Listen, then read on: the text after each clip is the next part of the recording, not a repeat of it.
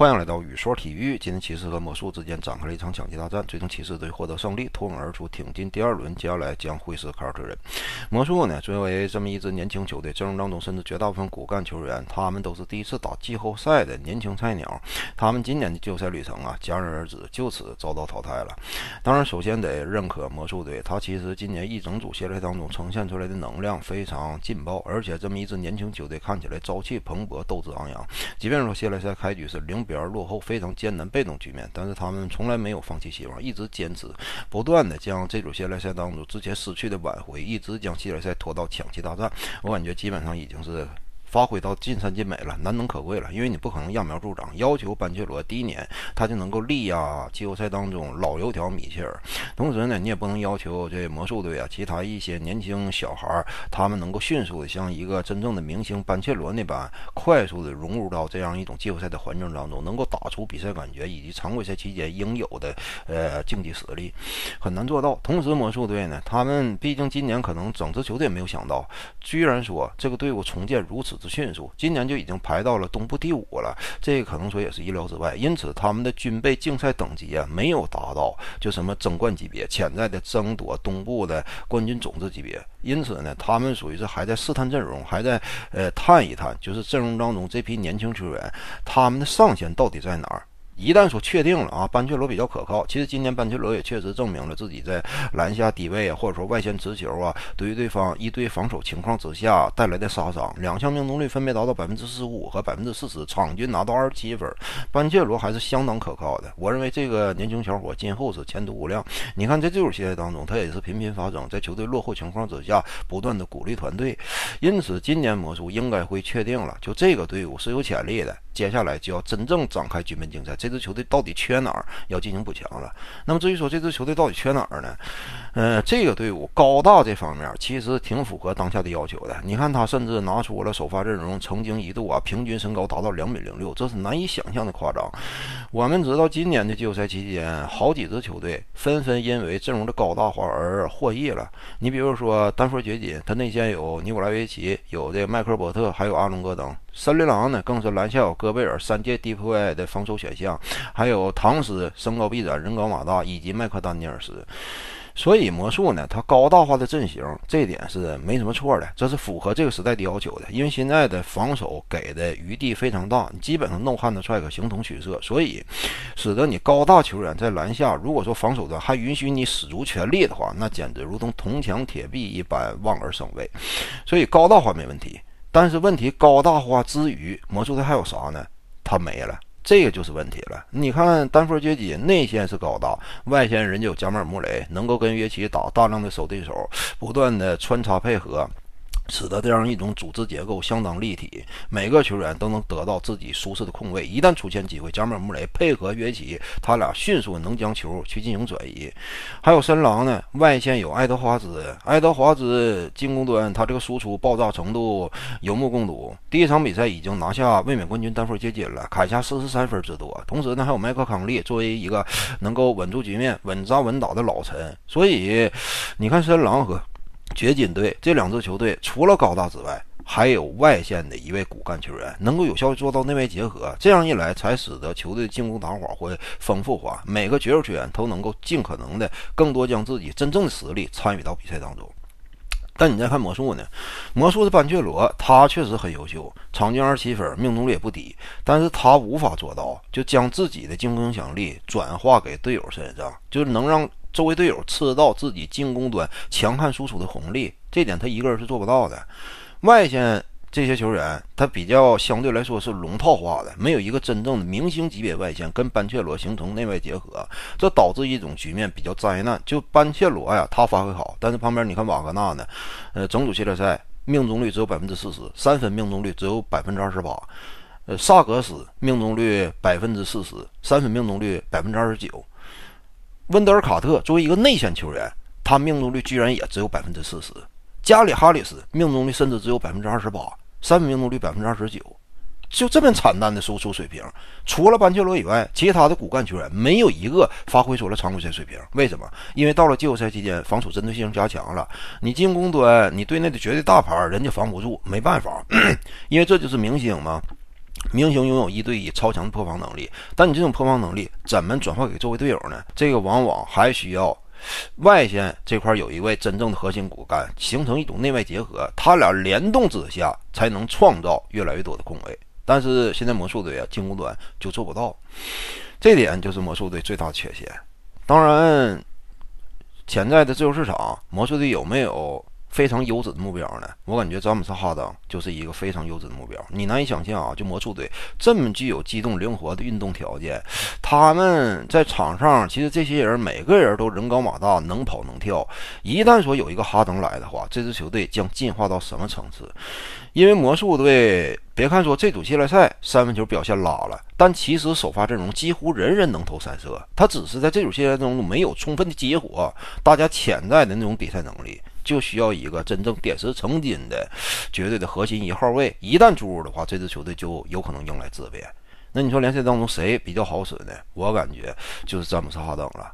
一旦激活队内的所有潜力，那么这支球队即便说在东部啊，面对凯尔特人这种东部排名第一的球队，我感觉也未见得落入下风。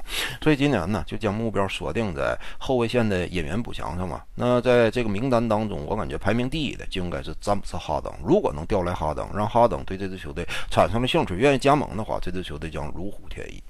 所以说，克利夫兰骑士呢，这组系列赛虽然说赢了，但是也暴露出很大问题。他们已经不是菜鸟了。这支球队阵容当中有好多季后赛老油条了。米切尔呢，他进攻端强悍的输出，这个有目共睹。但是米切尔如果说接下来面对凯尔特人的话，你想给凯尔特人惊出一身冷汗呢？你想让这组系列赛打得越来越长，靠他一个人肯定做不到。但加兰呢，事实证明他在季后赛期间他的输出等级还真是不太可靠，场均也就是十三四分左右。你这个级别，那很难称之为。能够给米切尔提供巨大帮助的，让这支球队变成双核驱动的这么一个主要的后场明星，他在这点功能上是有所缺陷的。所以，骑士我判断应该是走不了太远。面对凯尔特人的话，这组系列赛啊，我判断凯尔特人会是四比一最终拿下系列赛。快船休赛期运作呀，最好运作就是解体，因为你勉强凑一起没什么太大意义了。莱昂纳德呢，连续四年都受伤，接下来难道说不受伤吗？就以他这种对待比赛态度，常规赛期间如果说他长期不打啊，就蓄力季后赛也不一定好使，因为之前三年常规赛都是轮休卡。但你看莱昂纳德季后赛期间保持过完整健康吗？为球队真说效全马坐牢吗？他也不啊。还有呢，就 G 六生死大战，莱昂纳德居然说没有出现在场边观战，可见莱昂纳德对这支球队态度上已经是若即若离了，基本上落袋为安，钱已经拿到手，那么自己对于球队的以往那会儿做出的表面功夫，现在基本上已经不要了，就无所谓了。那莱昂纳德 G 六他都不愿意来，那当时鲍尔默呢也感觉很不满，全员上下也感觉莱昂纳德呀脱离了团队，一意孤行。所以，莱昂纳德队内呢，名义上起码是老大，但是这个老大呀，季后赛期间他总是微刀必剑，轻伤就下火线。常规赛呢，如果说他大量轮休，会间接导致其他队员负担过重，而进行接二连三的出现伤病的不断侵袭，进入到一种伤病的轮回，这就螺旋下降了。因此，跟随莱昂纳德一块儿争夺冠军，这事儿太不靠谱了，因为他季后赛实在是太不稳。打着打着，不一定哪一块就出现问题，一点小伤他肯定就是不出战了，这就不能继续再再快船了。保罗乔治呢，大概率应该会跟快船续约，然后之后进行交易吧，有这个可能性啊。但是保罗乔治如果说想要力争冠军，而且呢，他希望潜在加盟的下家不牺牲太多未来的资产以及当下的资源，那就有可能直接裸身加盟。裸身加盟有这个可能性。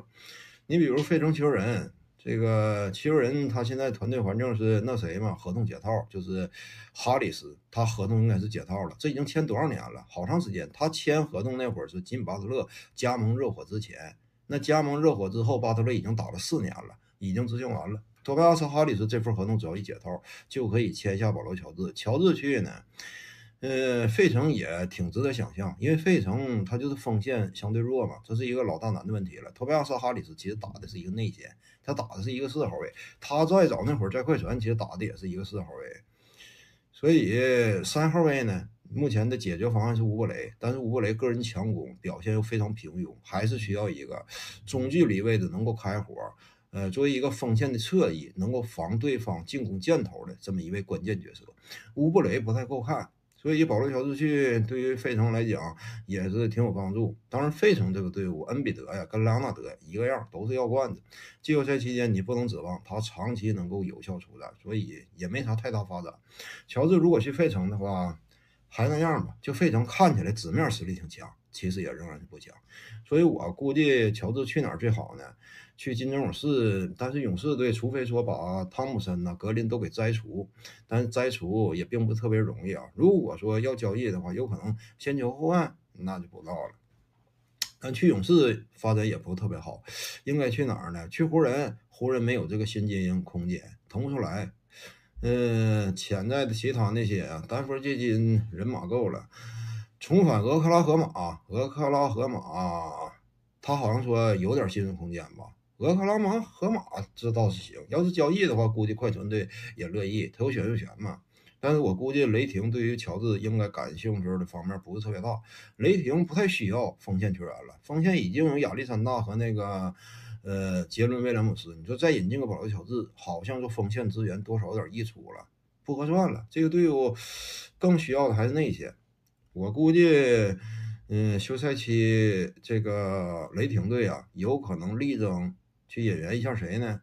呃，联赛当中吨位型的，我估计主巴斯如果卖的话，肯定下家应该是会雷霆。你看快船解不解体吧？快船如果解体，那就去雷霆。哈登应该去凯尔特人，那不知道凯尔特人今天赢不赢了？如果不赢，去步行者也白费。步行者，你看没看到那个带队老大？呃，哈利伯顿，我告诉你，哈利伯顿实在太水了。接下来再打，他是根本就赢不了。你比如说面对。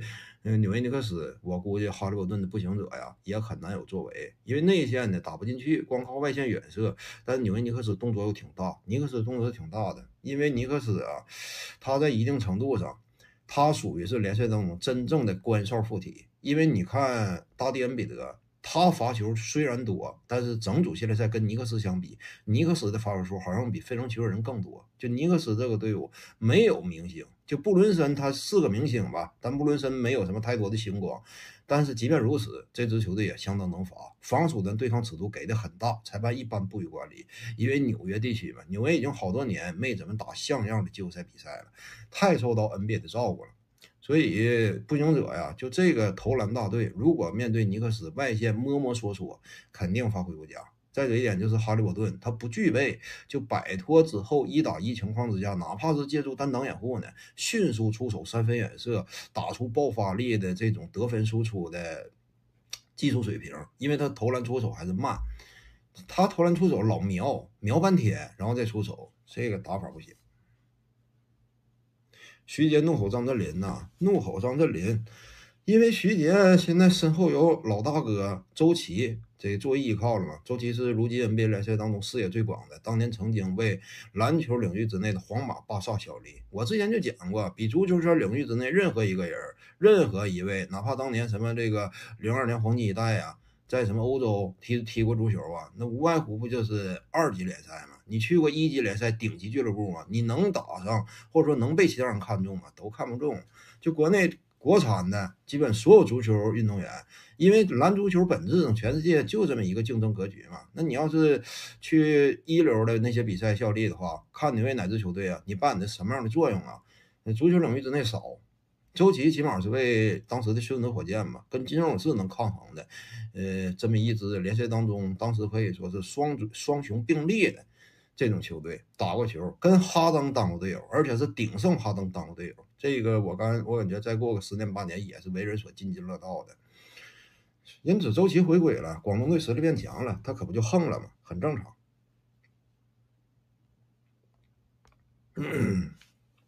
G L Y 玉哥接替哈姆雷迪克、泰卢、布登霍尔德、隆多，谁更有戏？认为今年步行者行吗？步行者不行，白费。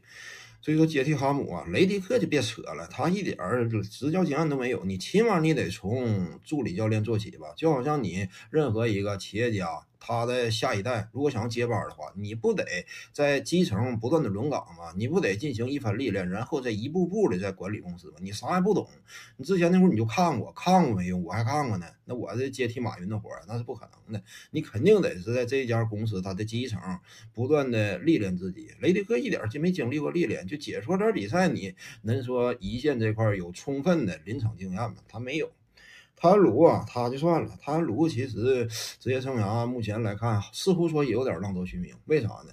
就是跟随勒布朗詹姆斯。你要记住啊，如果说一个主教练他只跟随某一位顶级球员获得过成功的话，这个事儿值值得商榷的。你比如说史蒂夫科尔，他只是执教斯蒂芬库里，两者之间配合默契，确实科尔有他的能耐，呃，配合库里那样一种特殊的打法，超视距的射程，他研究出来这个传切体系倒是挺相得益彰的。但一旦说库里不在呢，科尔就玩转不了球队了。他那套所谓传切体系也是一套烂战法。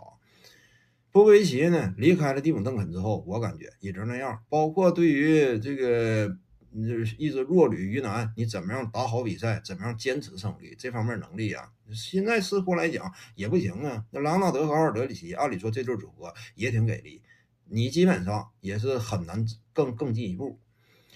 泰卢呢也差不多，包括那组系列当中对于皮耶塔克的使用，使得快船队最后的希望也破灭了。最好不要用泰卢。这个球员不是这个教练呢，他只会大量使用勒布朗詹姆斯，但问题现在詹姆斯年龄大了，而且泰卢他整个履历当中一直以来不擅长用中锋。你比如说，嗯，之前克利夫兰骑士时期他不擅长用内线，后来这支球队引进了这个贾雷特阿伦呢，还是谁呀？当时那个衔阶段嘛，那会儿勒布朗詹姆斯离了队了，呃，骑士队阵容有所变化，但是泰卢啊表现也不佳，最好不要用他。布登霍尔泽，我感觉是比较不错的，应该用布登。布登也是冠军教头。在这一点，布登他对于球员，尤其是老年球员，我感觉是相对比较友好的。你看字母哥不就是换了主教练之后，老里弗斯一上任，他的场均出场时间往上一拉，立刻就上了嘛。本赛季是字母哥整个职业生涯头一次出现季后赛期间的缺席，以往是几乎场场不歇。就出现了意外了，他不可能整组系列赛都做闭上关，但今年就歇了。为什么歇呢？就是因为出场时间使用过分，可能还是布登霍尔德对于字母哥他的身体条件、他的类型更加了解，呃，对于字母哥他的打法风格呢理解更为透彻。所以布登如果来，那勒布朗詹姆斯和浓眉啊，我相信他俩起码下赛季还是能够长期保持健康，打到季后赛，呃，应该也不会出现太多的伤情。如果是泰卢来呢，我估计詹姆斯受不了，因为泰卢只要是感觉场上形势不对，就会大量的用詹姆斯去填补额外的出场时间，去消耗詹姆斯这种比赛的身体能量。久而久之，必然会出现积劳成疾的这种身体的反馈的，不应该用泰卢。还是用布登霍尔德吧，斯波你也弄不来呀，斯波弄不来，隆多不行，隆多最多当个助教。如果他是不能霍尔德来的话，可以考虑让隆德隆多先干一个进攻助理教练，防守其实隆多也能干。防隆多不光进攻好，防守也好。防守当时指挥考辛斯嘛，指挥谁？指挥这个那个。反正他在场上是一个究极的篮球智慧体，可以用他。老彭每天都要宇哥，如果你是快船总经理，今年休赛期如何运转，能够保证队员健康的情况之下赛季夺冠呢？总经理啊，这个没法运转呢。那运转你怎怎么整啊？引进谁呀？目前市场之上，嗯，你这联赛是有规则的，你必须得有选秀权，要不然的话你在。面临自由市场竞争的情况之下，你没有什么太多的主动权，因为你说你鲍尔默有钱，有钱你也得受到工资帽的限制啊。有钱，你目前最多就是续约目前阵容当中拥有呃博得条款的球员，你只能是保持原有阵容不变。你再进行交易呢，能换出来比他更强的吗？通常来讲，一支球队如果是换走了队内呃明星级别的球员的话。他的目的只有一个，那就是摆烂，或者说那就是追逐接下来更加靠前的选秀权。这个赛季就放弃了。你想指望把保罗·乔治换走，换来的那些零碎球员能让快船队变强是不可能的。所以乔治呢，他有可能跟快船队选择续约，因为保罗·乔治他的博得权是在快船队手里。这种方式续约对于乔治来讲，经济利益能够最大化。但保罗·乔治后续啊，有可能被球队甩卖，也有可能出现先签后换。当然，先签后换呢，在现在规则下，对于乔治来讲也意义不大。我估计就是买到手里，留到手里，等到赛季打到一半，发现这支球队战绩不行，那就交易了。再继续坚持下去没必要。莱昂纳德目前就可以进行交易，因为他之前就续了嘛，现在就可以进行交易，看有谁乐意要吧。花儿对有效，勇士把除库里之外的所有资源打包送走，最理想能换来谁啊？得最理想，顶级的跟一个换不来，就剩下那些人有好多他都是有负担的。你比如说。嗯，德隆德格林呢？他这种古怪的脾气，对于球队来讲是好是坏，那不见得。你想要的那些交易得到的潜在的明星、巨星级别的球员，他们的母队愿意接纳格林，他这种古怪的情绪。再者一点，格林不也是兼职球员吗？他一直场外做过个，他就是吃时代之鲜，第一个吃螃蟹的球员。所以说，勒布朗詹姆斯，詹姆斯那个博客呀，他那完全就是靠业余时间，跟格林那不一样。为啥不一样？格林是在自己家里。啊，就天天打完比赛之后回去就嘚不嘚，跟这个詹姆斯呢，詹姆斯就每周哎非比赛日自己练完了之后抽出来两小时，呃就近，因为他那个演播室据说啊，距离詹姆斯他的工作单位就是洛杉矶湖人呐，他的训练馆不远一点儿，车程的话也就二十分钟，二十分钟去了，匆匆忙忙录完一个半点儿。立刻回去继续训练，不影响就詹姆斯正常备战。但跟格林那种呢，天天没事嘚不嘚不一样。格林那个对于球队团队多少是有影响的，而且格林探讨的基本都是当下球队的处境，这容易泄露几队的秘密，成为了一个泄密者了。但詹姆斯呢，通常不谈当下，只谈过去，展望未来。那詹姆斯。因此，格林他这个负担，汤普森马上就解套了，他是自由球员了。那你这没有任何，他不占薪水空间了，你没法将他交易。他乐意留的话，那就是跟他谈；不乐意留的话，他就自己走，这也没法交易。其他没有值钱的，就一个空家，就一个空家，啥也换不来。就联赛里，但凡打成打成名的，我告诉你，空家最多换来特雷杨，就最多这样。而人家老鹰队或许有兴趣，围绕德隆泰、穆雷和和库蒙加。组建一套锋线和一号位打的这么一套阵型，拼一拼，试一试，或许有兴致。就空家最多也就换特雷杨吧，再再高级别换不了了。不是世俗，宇哥快高考了，自己是艺考生，艺考成绩不错，可是文化课不理想，希望你给一些鼓励啊！你是艺考生啊？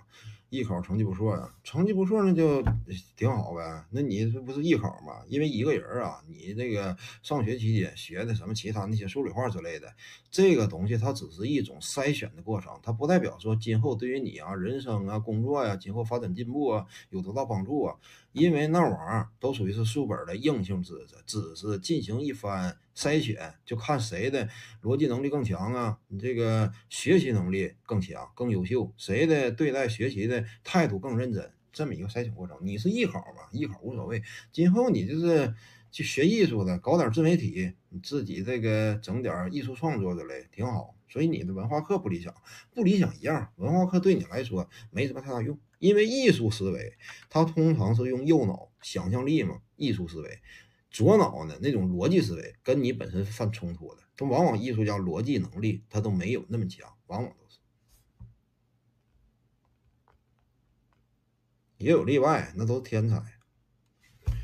沙滩蘑菇，宇哥看上手信呢，沙滩蘑菇。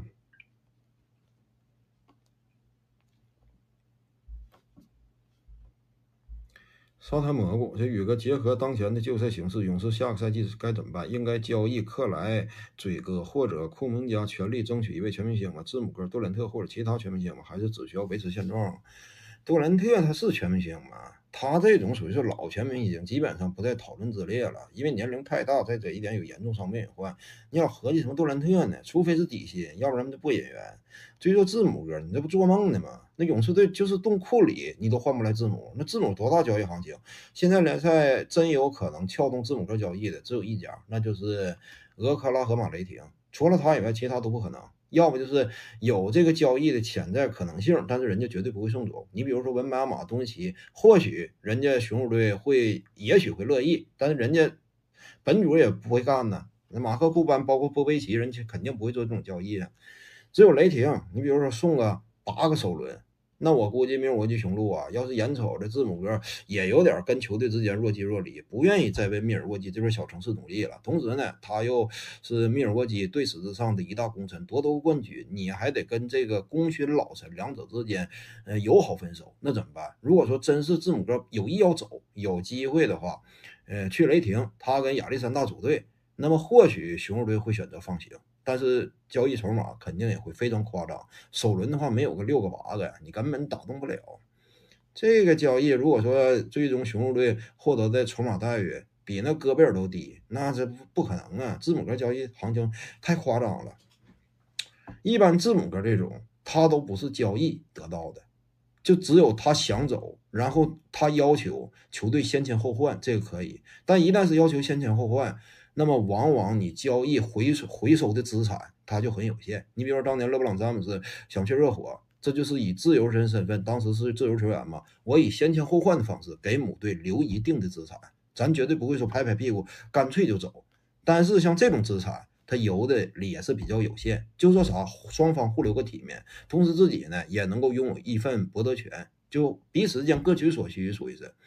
所以像字母哥这种，就理论上六个八个首轮选秀权，或许你能打动。但通常没有这么交易的，就即便是雷霆，他也不会就用出一次八个首轮选秀权去换字母哥，因为风险太大了。字母哥万一交易到球队之后打了两年，然后接下来他又跑了，这八个选秀权付诸东流了，不划算了。所以像这种选秀权的交易，首轮通常一次给没有给超过五个以上的，超过五个以上的话风险太高，没有球队愿意承受。首轮选秀权特别重要。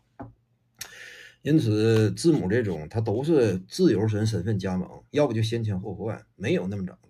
雷霆这么多首轮呢？雷霆十六个首轮，好像是目前还有十六个首轮。之前那会儿是有二十一个，后来是因为什么玩意儿？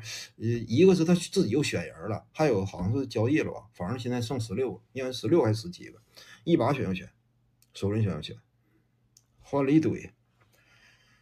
所以勇士目前谁也弄不来。克莱·汤普森是自由球员，他没法捆绑到交易框架之内。德拉蒙德·格林没有那么高交易行情，两千五百万对于格林这个身手能力来讲，也就正正好好。格林最多能换一个首轮，也就这样了。俩首轮赢可能给吗？那格林他也不是什么多重磅球员，防守端有两下子，现在防守端都强调人高马大，防守端对抗越来越激烈。就格林防守再好。那你在低位这块儿，你能肉搏过其他那些体格更强壮的吗？你也你也肉搏不过。陈冠冠冠冠喜的宇哥，自二零一零年以来，所有的 MVP 除了约老师，全部第一轮被淘汰。如果深狼赢掘金，所有的 MVP 都被淘汰，你怎么看呢？除了约老师以外，全部第一轮都被淘汰。二零一零年以来，那你为什么把这个逻辑得给他约约定到二零一零年以来呢？还有啊，就当年的那个詹姆斯哈登，他是第一轮被淘汰吗？你这明显假了。斯蒂芬库里是第一轮，你哎呦我天，你这假的。二零一零年以来，所有 MVP 除了约老师，全部第一轮被淘汰，一听就假呀。那一举例就是当年的哈登，当年斯蒂芬库里，这都不是第一轮被淘汰，你这你这不闹呢吗？这这非常明确的案例，还有勒布朗詹姆斯是吗？那詹姆斯一二年、一三年都是 MVP，他被淘汰了吗？恰恰相反，人夺了冠军了，你这根本没有被淘汰，瞎扯淡。除了 MVP，所有所有的 MVP，除了啊，今年呢，二零一零年以来所有的 MVP，除了约老师，全部第一轮被淘汰。如果是狼淘汰掘金，所有的 MVP 都被淘汰，你怎么看呢？那就老了呗，因为有太多所谓的那个 MVP，人家都年事已高。同时呢，也验证了一点，就你也讲了，二零一零年之后拿到的那些 MVP，现在在联赛当中，仍然他混居联盟，甚至打着各支球队的主力，甚至绝对骨干核心的大有人在。说明什么？MVP 啊，这个奖项，但凡获得者呢，他的职业生涯往往延续都比较长，因为什么？因为你的能力底子太厚了。瘦死骆驼比马大，哪怕经历岁月的消蚀，同时时代的变迁，但你拥有的这种巨大的比赛能量啊，仍然适用于每一片赛场、每一个时期。这就是 MVP。你再看 FMP 呢，不一样了。你这当年那莱昂纳德，因为是一组系列赛的奖项嘛，这就导致莱昂纳德呀，他这种人，往往呢就是短时间之内打出一波爆发型，长期维系球队的底线，他做不到。你快船不就是年年沉吗？他是典型案例，当年第一个打了，打着打着，后来啊也淡出联盟了，也不行了，这就是 FMP 嘛。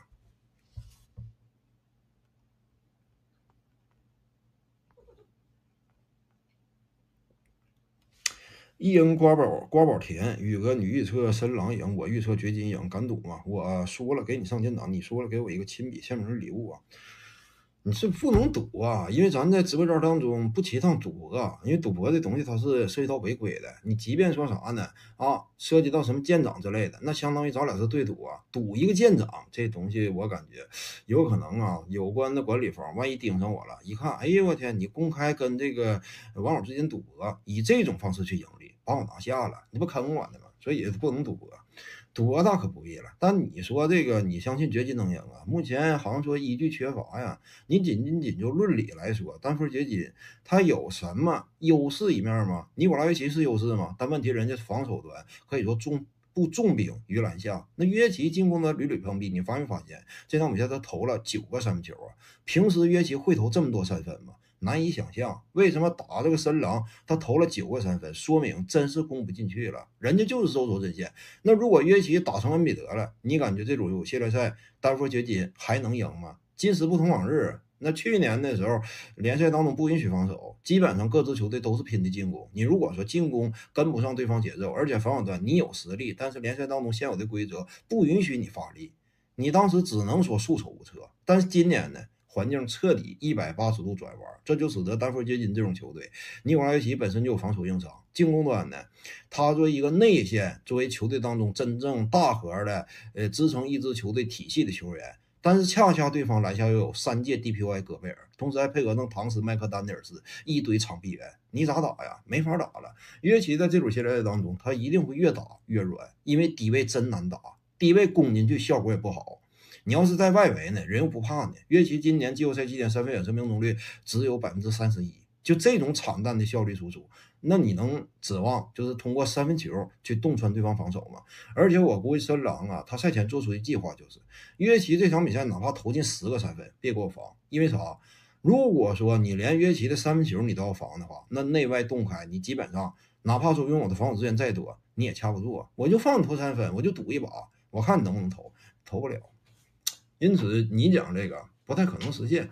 如果实现了的话，可以签名签名东西可以。我之前跟李老八有个合影，你要是哎呀，那这个赌注有点大了。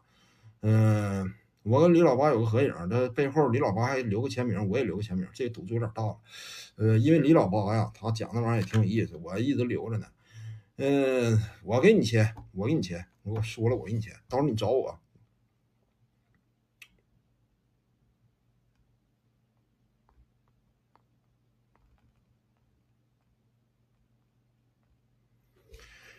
呃，HNT 恐怖花生，如果深狼夺冠了，里克尔在亚洲历史地位会如何？亚洲历史地位会如何？不会如何啊，因为他是规划球员嘛。规划球员不能说非我族类，其心必异。因为你要是这么讲的话，伤了里克尔认祖归宗的心了。但是甭管咋地，规划球员，要不人说我们一直在谈，哎呀，什么时候中国有一位球员能够闯荡 NBA 呢？目前已经空白许久了。你为什么谈这话的时候，直接就潜意识当中把里克尔直接就给抠掉了呢？因为人家原来就在。NBA 打，我们只是把人家规划来了，人家也有这样一种规划的心。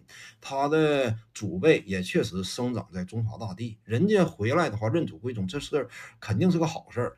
但是毕竟里克尔他生长的环境那都是在国外嘛，他这辈起码接受都是美国呀、欧洲的篮球教育，因此，所以里克尔啊，他拿了冠军，拿了冠军呢也改变不了啥。你包括那个什么克拉克森呢，拿了冠军了，那对于菲律宾篮球来讲也就那样吧。也就那样，这个影响不是特别大。沙包哎，但是呢，里卡尔如果拿了冠军了，他的国内商业价值肯定会更高。下次如果回国带着冠军奖杯回来，我估计啊，盛况空前了。因为国内球员好多他都没有资格，就是我拿冠军奖杯回来国内溜一圈，人家就是各支球队也不允许。你比如说巴特尔有没有？他有冠军戒指，但马刺能让巴特尔。你把这冠军奖杯拎中国回去吧，你去溜达一圈。马刺当时感觉巴特尔他就对那一个角色边缘人，因为冠军奖杯一旦说归属一支球队之后，他基本上他都会按照队内的资历排序轮流使用。那整个休赛期一共多长时间呢？而且那各支球队肯定有规章制度。就是说夺了冠军之后啊，我们包括什么花车游街呀，呃，然后呢，休赛期那个阶段，大家各自分配一段时间，这个奖杯归属于你，你拿出去，应该也就是在一周啊，两周左右，半个月之内，然后你就得放归到球队的博物馆里进行展览了，进行珍藏了，要不然的话，你谁都拿走，万一磕磕碰碰的弄坏了呢？所以巴特尔之前那会儿他没有这个条件，队内他的决策权力不够，因此马刺队不让他，我估计不让他把冠军奖杯拿回中国吧，展览一圈，他级别还太低了。孙悦呢，级别就更低了，那你这打着打着，在队内基本都没有任何地位，就是一个饮水机的绝对看守者，垃圾时间后期都不给他上了，所以孙悦后来也是不行，没办法，他冠冠军奖杯不给你，但是李凯尔如果拿了冠军奖杯了，我相信。他如果说向森狼主动申请的话，而且里凯尔啊之前跟戈贝尔互相之间还有一些肢体方面的不愉快，戈贝尔这个赛季表现这么出色，如果夺得冠军，戈贝尔啊他内心当中肯定会非常骄傲，同时球队对于他也相当欣赏。但是戈贝尔呢欠里凯尔一个人情，这是里凯尔他作为板凳席上一个第六人、第七人的角色申请，哎，我能不能申请一下，在有限的十五天的使用时间，我申请三天，我回到我的。呃，老祖国，我回到东方古国中国，我去展览一圈。这时深狼可能说，感觉哎呀排不开呀。你看这之前已经排满了，卖单儿啊，他打算拿到奖杯，回到自己的母校去进行，嗯，一进行一番这个，呃，奥里夺尊吧，就回归母校，就荣归故里吧，带着自己的荣誉啊。纳兹里德想回墨西哥是去哪儿啊？去墨西哥，他亲家，他的老岳母在墨西哥，他希望光宗耀祖。啊，这戈贝尔他要回法国，但是戈贝尔一看里凯尔要申请啊，我让了。就是这个这个，我正常来讲回法国是我们队内啊排到第二，仅次于唐斯，因为唐斯据说要呃回什么波多黎各是哪儿，我排到第二。等唐斯的奖杯送回来，我不回法国了，这个就给里凯尔回中国了，这就回中国了，这就能回来。所以里凯尔要是夺得冠军，会带着 NBA 奖杯来到中国。进行一番展览，进行一番展示，荣归故里嘛，这个能挺精彩的，这能挺过瘾。多米尼加，对，多米尼加，所以这里克尔还挺挺好。沙包里有点滑溜模板嘛，球风和打法跟之前的哪个球星类似啊？滑溜没有模板呢？模板它属于是跟德文维德面框突破有一定的相似之处。外线三分远射呢？我感觉啊，爱德华兹他这种技术水平差不多类似于谁呢？非常强壮，但是又擅长投篮。这种属性的话，我感觉跟大胡子拜伦戴维斯多少也有几分神似。拜伦戴维斯我记得当年就有三分球啊？他当年巅峰期的时候，三分远射命中率是不是也并不是很拉胯呀？我记着好像这样。早些年间在快船嘛，拜伦戴维斯啊。零几年的时候，对拜伦戴维斯挺像，他投篮的其实挺准。当年那会儿百分之三十五六命中率其实已经挺高了。后来呢，百分之四十多命中率，他有点像拜伦戴维斯，我感觉风格挺劲爆的，又能跳，而且体格又粗壮，呃，身体天赋出众，选秀顺位又高，有点像拜伦戴维斯。迈克乔丹呐，乔丹三分球不行啊，乔丹他就是中距离，但是。呃，爱德华兹呢，中距离也有，他有中距离翻身后仰的打法，但他毕竟是个小后卫，小后卫这种招式其实执行起来呀，他是有这种苛刻的对位要求的，他没法背身打比自己更加高大、更加威猛的球员，因为被打嘛，被打都是挑人，你要是冯维尧本人是最适合被打的，为什么呢？因为你在球场之上，对方几乎有一多半的球员都比你体格矮小，所以被打还得是。迈克尔乔丹之类这种，傲娇的妙妙怪宇哥，本赛季哪几位球员最让你感到气不打一处来？是伦纳德、兰特、恩比德，还是威少、西安、巴特勒，还是克莱、格格林、维金斯啊？维金斯主要是老请假，这个请假这个事儿已经好几次伤害球队了，包括当初那会儿，就是因为维金斯突然间不告而别，谁知道他干啥事儿？你这玩意儿，你有种你就说。我不干了，我退役了，我这个能不能回家？那你随便回啊，要不就说啊，我这一赛季工资不要了，因为啥？我这现在请假影响球队状态了，我这赛季我不领工资了。你不能一次就领特出开特别长的假条。在这一点，维基斯动辄一请假呀，没有一个归期，具体啥时候回归不一定，这事儿太恶心。你可以说理解他，或者说这个一家公司啊，他对于这个员工他也是有这种照顾。但是你对于球队来讲，毫无疑问是一种负担。你这连番请假，嗯，好几个赛季，他都出现这样一种让球队措手不及，而且对于未来没有一个清晰预期。你说你是不是球队内鬼呢？他这个也差点。对于球队争冠来讲，肯定是有负担。因此，维金斯不该这么干。或者说，维金斯他可以说该这么干，但你也活该受到球迷对于你的挑剔。就是你不能好事都你的，我假也请了，球迷还得捧我，那你怎么的？你是仙儿啊？那你你不是，你没有条件。格林呢打的还行，但是格林这个人因为老打人嘛，内外都打，惹了很多麻烦。包括本赛季，呃，光是官方这给他处理的休战应该是二十场左右，这个实在太多了，对球队肯定也是一种危害。克莱呢，就是瞎打，主要是威少、西安、巴特勒。威少其实总体问题不大，季后赛期间是表现不利，但是他的出场时间不还是他鲁给的吗？常规赛呢，人家威斯布鲁克呃领一份底薪，你常规赛作为一个板凳席超六角色，甚至都不是超六，真正的超六是鲍威尔，他扮演一个第七人，愿意接受这种微不足道的小角色。那以威斯布鲁克他高傲的心气来讲，已经难能可贵了。威少可以，其实。西安也可以呀，兰特恩比德呀，兰特今年实事求是讲，对于团队的带领这方面的领袖作用仍然是没能呈现。就他职业生涯打到现在阶段，仍然痴迷于立棍单打。很多人说他是球痴之类的，嗯，痴呢，我感觉基本上两种解读吧。一是对于篮球这项竞技运动的痴迷，二是啥？多少篮球方面他的悟性非常呆傻。就这个人，他也不懂得如何进步，如同不懂得怎么样去探索自己篮球方面更宽广的边界，走出一条自己职业生涯当中，呃，经历了以往种种挫折之后，真正淬炼升华之后的彻底改变。他一直以来不懂这点，所以他这所谓的球痴呀，百分之三十是指他对于篮球的爱啊，对于竞技运动打篮球，通过赛场之上争胜负，带给自己内心当中那种骄傲和满足。但是百分之七十指的是啥呢？尤其现如今啊，因为杜兰特作为拆家能手，已经拆了一支又一支球队了。究其原因，在于他痴迷单打，导致他到哪儿哪儿就是立棍单打的体系，球队呢一败涂地。他只要去了之后，这支球队嗯积重难返，慢慢球队就面临崩溃。所以他百分之七十球痴的解释是站到了痴傻的痴，太傻了，就是篮球智商这方面始终没有开窍。球痴嘛，挺呆傻的，就在篮球智商这方面。至于说伦纳德呀，伦纳德是比较来气，但是杜兰特说实话啊，他今年表现整体就个人表现来讲，是比去年明显要强的。去年常规赛没怎么打呀，就打八场在太阳，要不然说季后赛期间克里斯保罗都得赖他呢。保罗伤了，为什么伤了？你常规赛期间你老作弊伤关呢，那保罗能不伤吗？你一歇就俩月，这对于球队来讲压力太大了。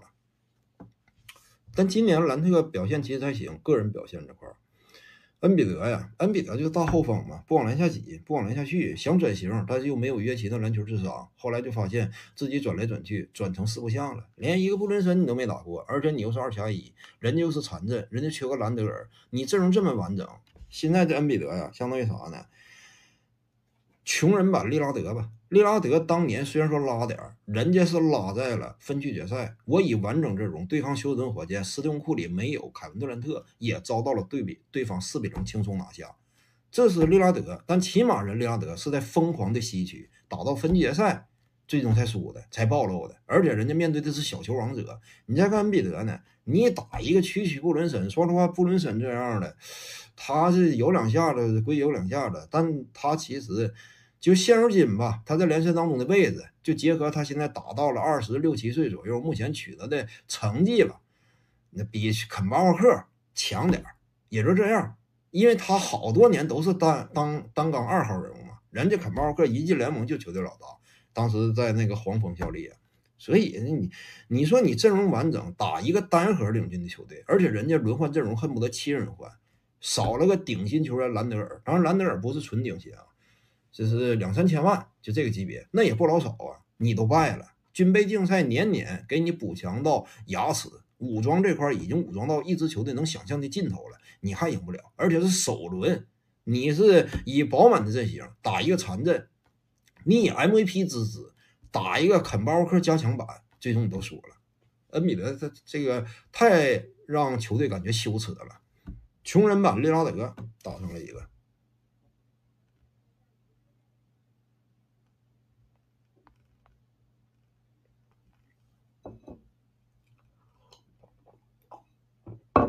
嗯，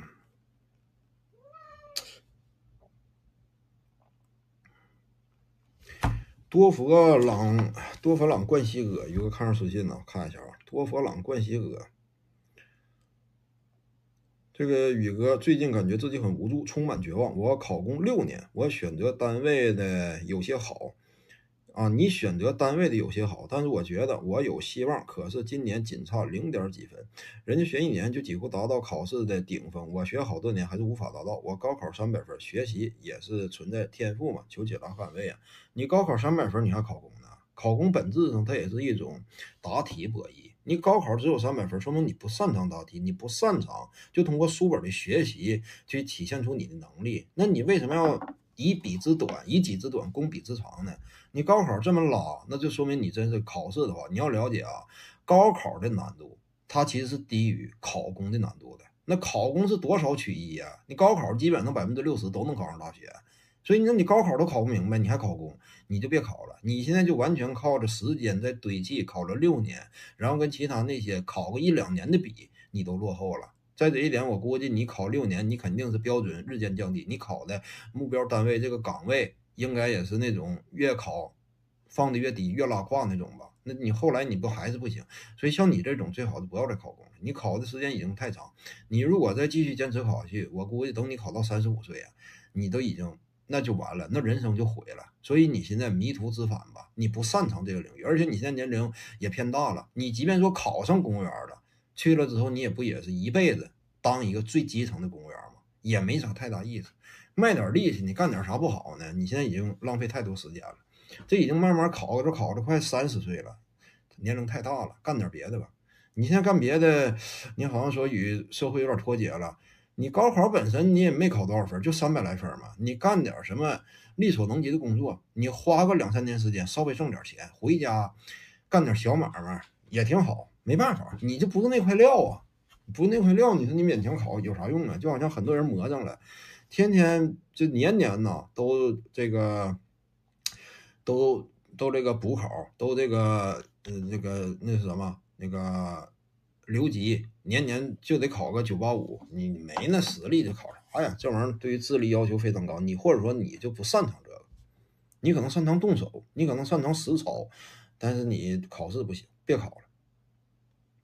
或者说你不行，你就考个事业编吧，你看能不能考？就你如果说实在感觉，哎呀，我现在也没有什么其他的能力，我适应社会也困难，而且你也拉不下来脸儿，怎么办呢？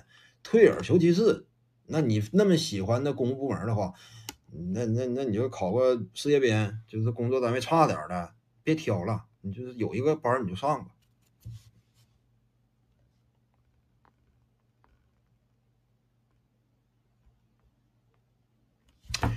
比利七九八五三七四，宇哥，今年今天纳兹里德太狠，不然也不会赢这么简单。雷吉胡打，如果给个替补，给谁有机会啊？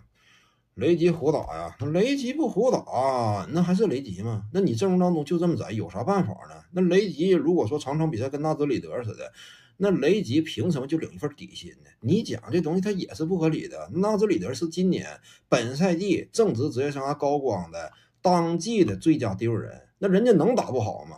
还有一点，就纳兹里德，基本上他的存在会使得那个单数掘金呢很难对上位，因为纳兹里德有速度，人家攻守转换能下快攻，同时呢拉去三分远射命中率达到百分之四十二，防不胜防。纳兹里德发挥好，这个其实正常来讲，你要长期看森林狼的比赛，你应该习以为常。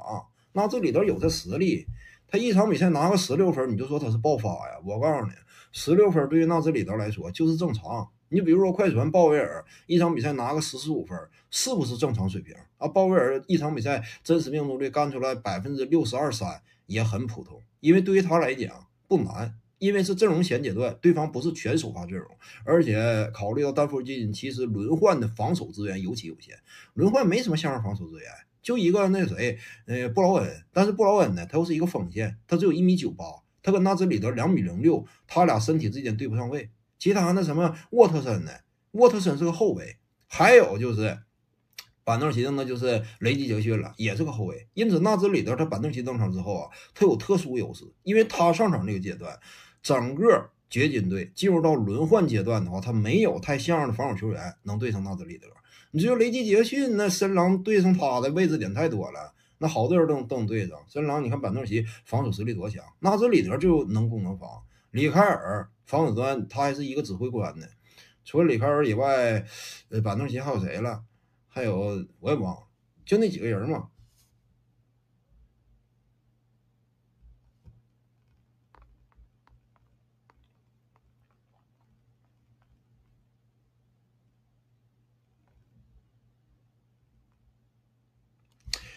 花儿队有效，为什么哈登抱团组队一直失败啊？是单纯因为运气吗？还是他自己有问题呀？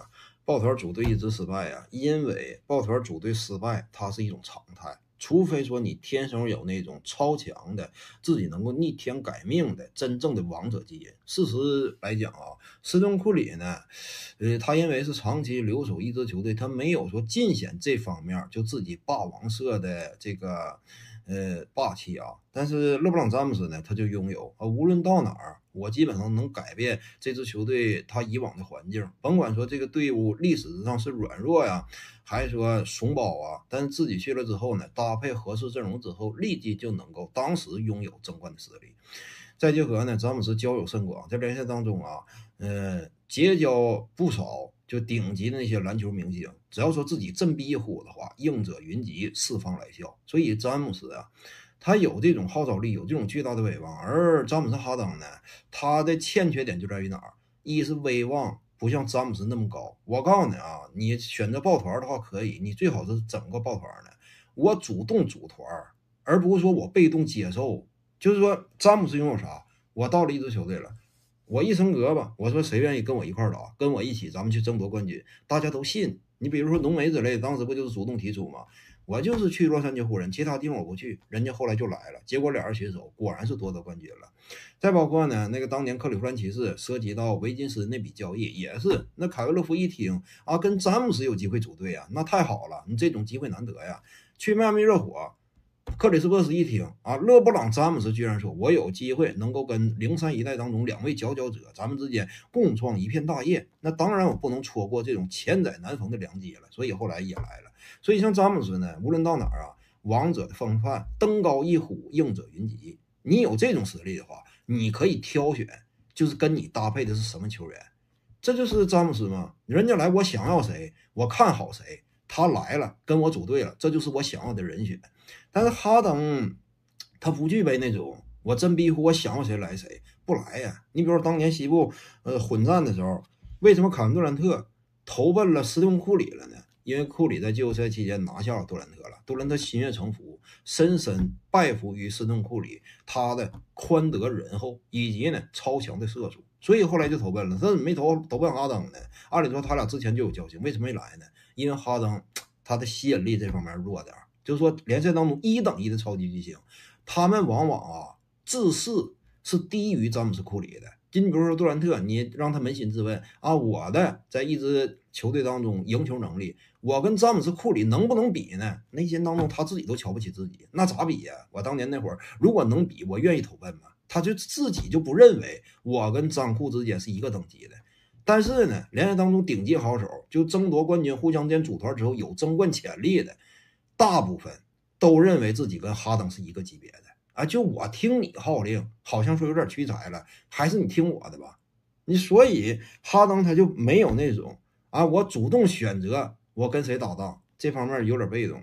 你比如说早些年间，哈登其实也有机会离开休斯顿火箭之后，跟呃字母哥的昆博两个携手。他俩如果携手，我感觉雄队就妥了。字母哥也是只恨自己呀，当年那会儿在全明星舞台之上得罪哈登了，哈登就没怎么愿意去。当时，但是必须得也得讲，字母哥也不咋太瞧得起，就是说哈登的实力，就他俩互看不上有点后来就没去了嘛。其实如果去密尔沃基雄鹿的话，最好就两者的搭档，我认为是最合理。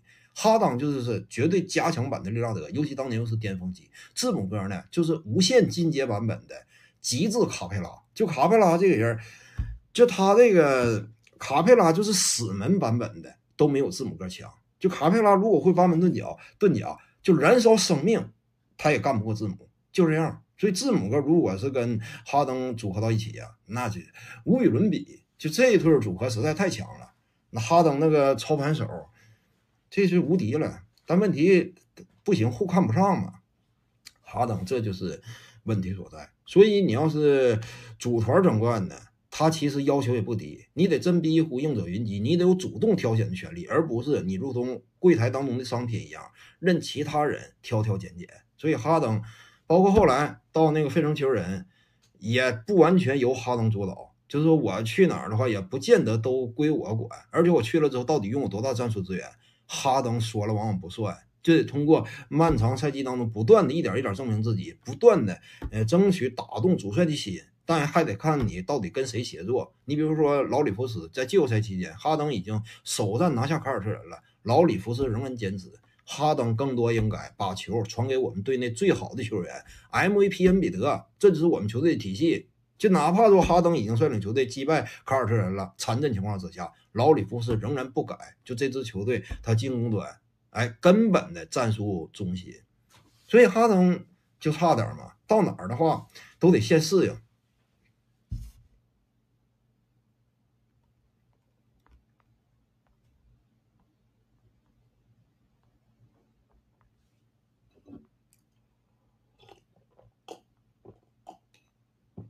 嗯，沙包丢丢啊！之前讲了，这个火魂剑圣鲸鱼白天在哪儿解说今天这场比赛？想找回放看看，没解说呀。这今天这场比赛没轮着我，这其他人解说的。这个现在呀，他各个平台基本上大流量型那种关注最焦点的比赛呀，已经没了。所以他们就不让我解说嘛，就让其他人解说。你看这好多比赛他没那么重点嘛，但后续后续我肯定还得解说。明天西边说不说？明天说西边，辽宁那场吧，应该是。一会儿晚上还得看一看这个魔术和骑士抢七大战，这个怎么也得看一看，因为一旦这场比赛打完，就涉及到两支球队的赛季总结了。当然，你要是赢的，那就是展望下一轮；输的一方，那得谈一谈。所以这比赛还得看，接下来得熬个熬个小夜。抢七谁能赢啊？我判断魔术，魔术能赢。魔术如果赢，打的会更好看；如果骑士赢，骑士甘拜下风，根本干不过凯尔特人。当然，这俩队本质上都白给啊。